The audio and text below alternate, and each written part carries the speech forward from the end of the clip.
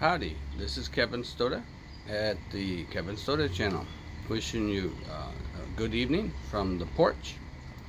Um, I got a letter today from Southwest Reservation Aid.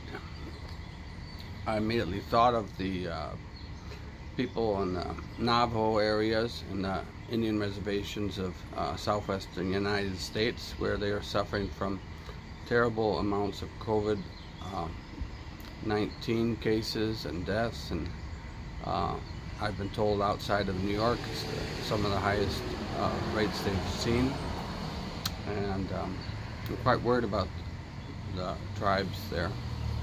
My dad used to work on a reservation installing telephones. Um, friends of mine helped set up the electrical power plants, the recent ones, the uh, ones that help uh, get solar power and, and, other forms of alternative energy.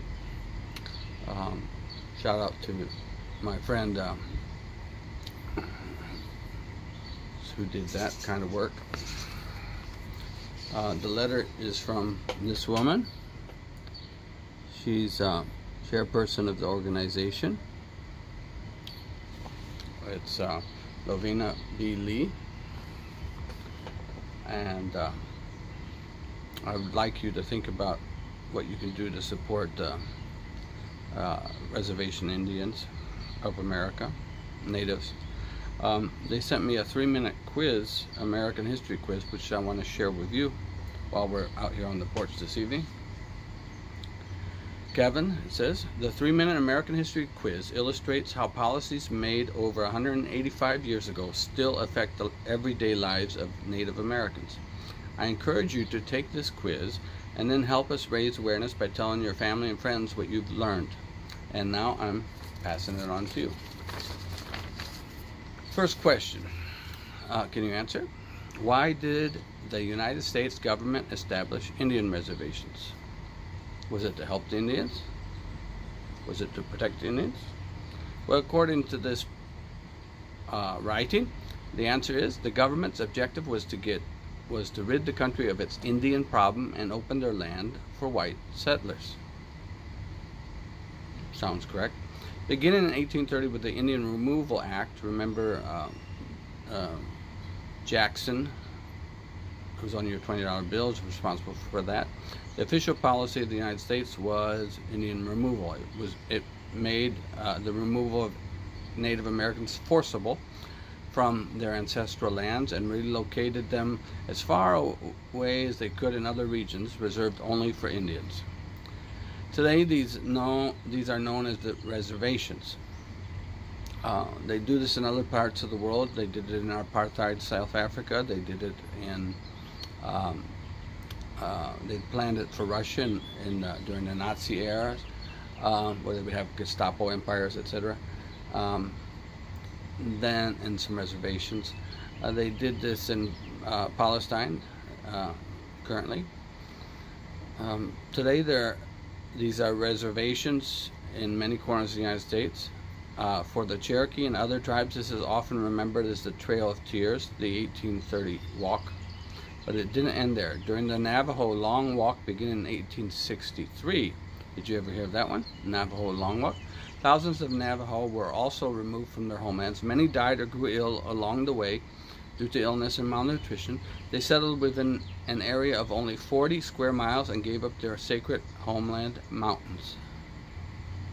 Uh, mountains have been in the news where Trump's uh, trying to re-give away some of that land to um, other contractors? Question number two.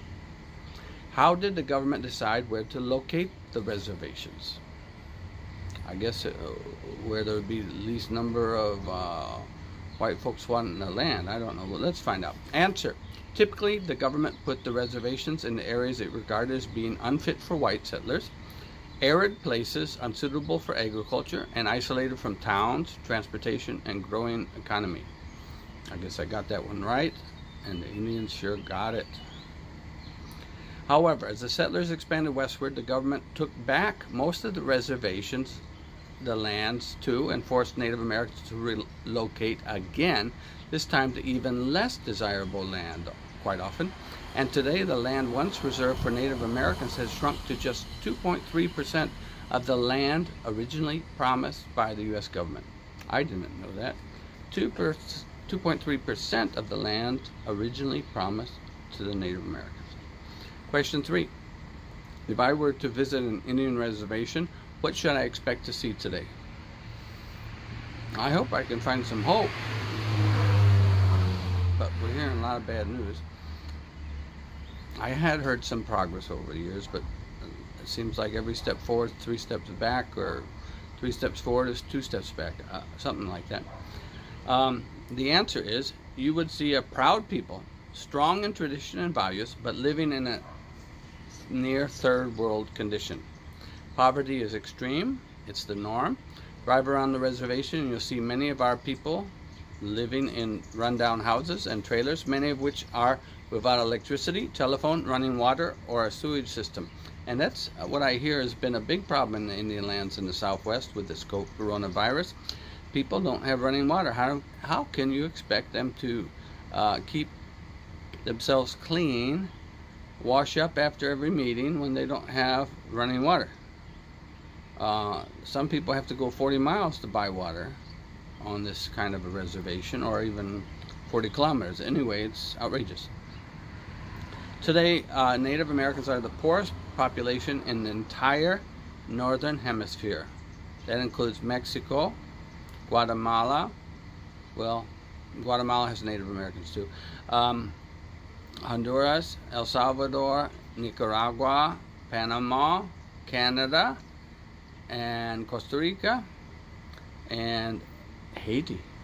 Can you believe that? Um, how can these conditions exist in a rich and powerful country like the United States? Well, we could say the same thing about everything we've witnessed over the last 50 years since people have been worshiping a man named Ronald Reagan and all the things he uh, representative in terms of um, let's spend as much money as we can on the military and give as little as we can to social concerns and socially deprived peoples. This has been going on for far too long and we can't put up with it anymore, right? And now the healthcare situation has made become so expensive that most people are just suffering. The Indians therefore need a handout from the government and I, according to what I've heard this year, they're waiting on $8 billion that's not been yet given to them by the Trump administration. God help these people. Question number four. How, how can these conditions exist? Answer. Harsh government policies concentrated Native Americans in barren regions, inadequate for farming and distant from settlers, supplies, and jobs. Most reservations are so remote that added cost of transporting supplies and products on and off the reservation make local production impractical. What's more, the U.S. government holds reservation lands in trust, so outside businesses are reluctant to invest and create jobs on reservation lands. I don't know. I hope that some of these Indian tribes who've got casinos can somehow take that money and use it right. I, I hear that some are. Uh, even sadly today, between 35 and 85% of all Native Americans who live on the reservations are unemployed. To find work, many must move away from the reservation and leave their families behind. Kind of like the people from Kansas I knew growing up. It's a people exporting state. This is why about half the children living on reservations are being raised by their grandparents. Even the most basic services, healthcare, retail stores, pharmacies, and schools, are often an hour or more away, and families are forced to choose between using what little money they have to buy gasoline for a car or food for their children. Hmm. Again, on the, the populated regions of all parts of the United States are kind of like that, but I do think it's worse for uh, Native Americans who have valued community much more than uh, building a wealthy empire, even if they had a chance. Uh, number five, what's the question? Why didn't I know about this before? Well, some of these things I knew. I was an American history teacher and I've kept tabs. I've um, visited the reservations. I would like to support them. I'll probably send some money after this. I hope to. Um, the answer is why didn't I know about this? Answer many people don't, and you can help change that by sharing this quiz to raise awareness. Make sure your friends and family take the quiz and pass it on to as many people as you can. That's what I'm doing right here from the porch at my house. What else can you do? Uh, this little article or letter says, by now I'm sure you're wondering what else can I do? The most urgent need is for food and drinking water. Today, one in four North Native Americans who live on reservations don't have enough to eat. Wow. We have um, uh, All Tribes College, not very far west of here. It's Haskell Indian University, Native American University in Lawrence. And many people were sent home you know, because of COVID-19. All of them, all of them. But uh, when you think about it, they're sent home to where there's no food, where they might not have internet infrastructure to do classes. It's really been rough on them. Uh, we get to hear uh, native news radio, and uh, I suggest you guys take advantage of it. Find some native news radio or TV productions and get in touch with what's happening. Uh, what can we do, or what has been done to solve the problem? Uh, this organization like the Southwest uh, Reservation Aid uh, help uh, get the problem recognized. They help the people get food and water. Uh, they also distribute, you know, specifically beans, rice, flour, soup, canned goods, and others other needs to Navajo, Hopi, Hopi Zuni, Apache, and reservation tribes. Last year alone, they claim to provide enough food for thousands of meals for Native Americans, elders, families, and children thanks to good people like you. All right, so be a good person. Um, let's see if we've got an address for them. Uh, I don't see it on the, oh, here it is. Okay. Um, the program partnership with Native Americans. It's at www capital S W R A little letters P R O G R A M dot org. That's S W R A capital program dot org. S W A R A program dot org. Okay, show it to you real close up there. Right. Anyway, uh, I want to pray for the folks there, and I want you to be concerned and let's turn this country around. Please help the Native uh, peoples who are have been mistreated historically and help empower them. Help get some jobs there or bring them to whatever it needs so they can develop themselves and uh, we can help develop them and connect them to our society if they want to in the ways that they want to. Okay? Uh, God bless you. Have a good night from the porch. This is Kevin Stoda at Kevin Stoda Channel. See you soon.